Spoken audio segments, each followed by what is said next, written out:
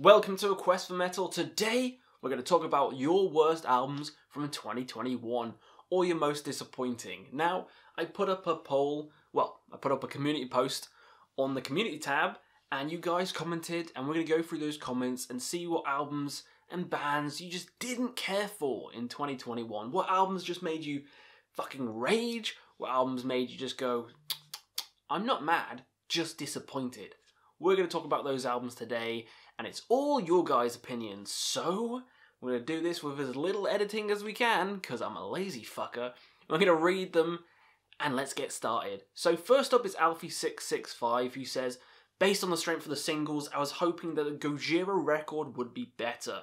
I feel that Born for One Thing, Amazonia, and two of the best songs the band has written, as a bold statement, um, and Into the Storm features some of Mario's most complex drumming yet. The album as a whole fell short of my expectations, but still excited to see them on tour. Okay. Now, there's a couple of other um, mentions for Gojira on here. It's one of the bands that people have mentioned a lot, the new album Fortitude, and I can kind of agree. When it first dropped, when Fortitude first dropped, I really enjoyed it. I thought it was, I thought it was pretty cool, pretty fresh and new, but then it kind of wore off after a week, which is a very short time for an album to fucking wear off, and it really did. I still enjoy Magma. I still think that's underrated and overhated. So I fucking love that one. This one definitely just it just fell flat in my opinion. I again I love Amazonia. Bloody Amazonia.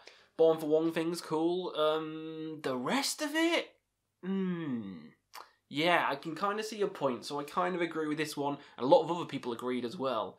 Um, while we're doing this video, anyone who didn't comment on the community post, pop down below what you feel about these bands and these albums as well.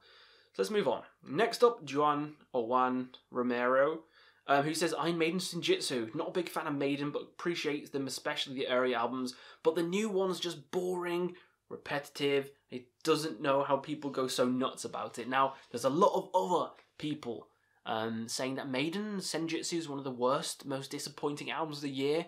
Of course, I fucking disagree on this one because it was one of my favourites of the year so far. I love uh, Longer Maiden.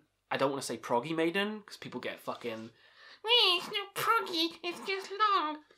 Uh, fuck you. I love it. I think Senjutsu is great. It's probably my favourite album since Dance of Death. Probably my favourite album since Dance of Death. Um, Hell on Earth is a fucking masterpiece. Parchment's fucking masterpiece yeah, uh, I've shilled this album enough, but it's time for your guys' opinions. And a lot of you didn't like the album. You said it was too meandering, too plodding, too long. You like the short, faster, punkier Maiden of the Di'Anno era. The short, faster, melodic Maiden from the Bruce era, like Powerslave and Piece of Mind. Um, but this kind of newer Maiden kind of isn't the right style or substance for some people, and that's fair enough. It is for me, I fucking love it, but some people, it's not. Now, someone else saying Gojira, Matthias, um, Skeleboob, Skeleboob, says Sermons of the Sinner by KK Downing was a big letdown. Some fantastic solos, the riffs and songwriting just didn't cut it.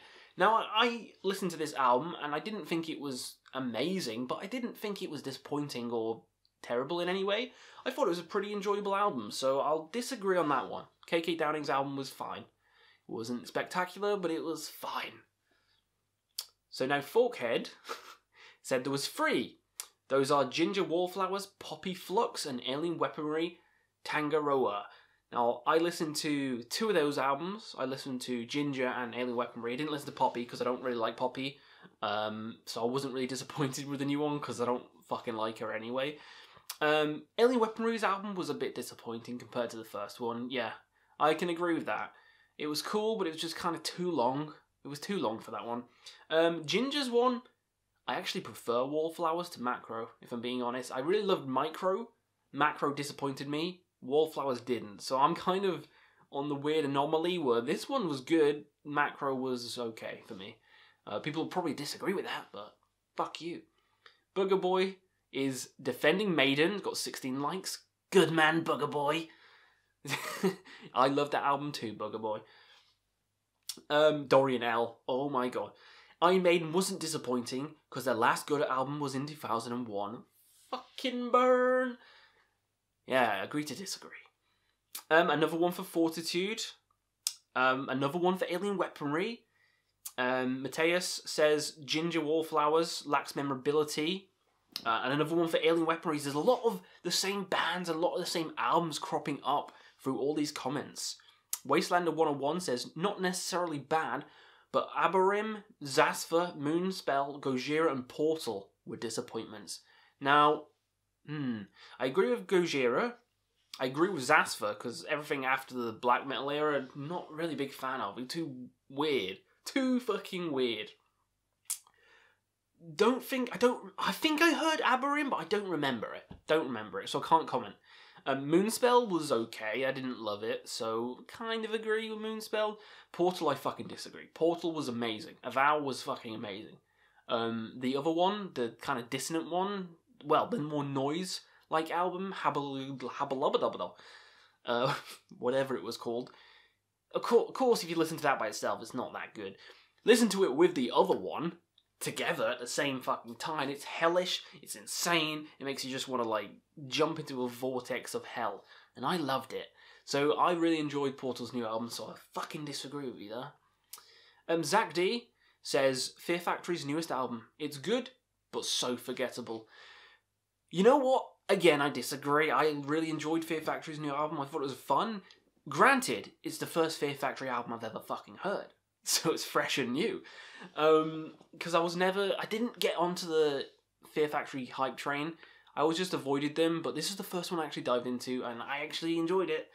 So maybe it's bad compared to the others. I've only heard two albums now, so I'll go back and listen to the others. They, they seem good. Zach Evans says The Devil Wears Prada has nothing to do with the zombie EP. It wasn't heavy at all, and the vocals sucked PP. I'll not heard it, so I'll just agree with you. Astolfo, the Brider of Black, says The Bitter Truth by Evanescence. A lot of people don't like that one. I thought it was fine. The production was shit. The, album's fine. Flux by Poppy, don't like her. Wallflower by Jinjer, I think it's good. You're Welcome by A Day to Remember, ugh. Yeah, that one's not that good. The Silver Scream 2, Welcome to Horrorwood. The title alone makes me cringe. I really enjoyed that album, actually. I fucking liked that album. Loads of people said it was cringy, like Metal Meltdown Trenches, and I was like, oh shit, I'm dreading it. Listen to it. It was well fun. It was such a fun album. Like the the whole Chucky song was amazing. Like na na na na, na, fuck you.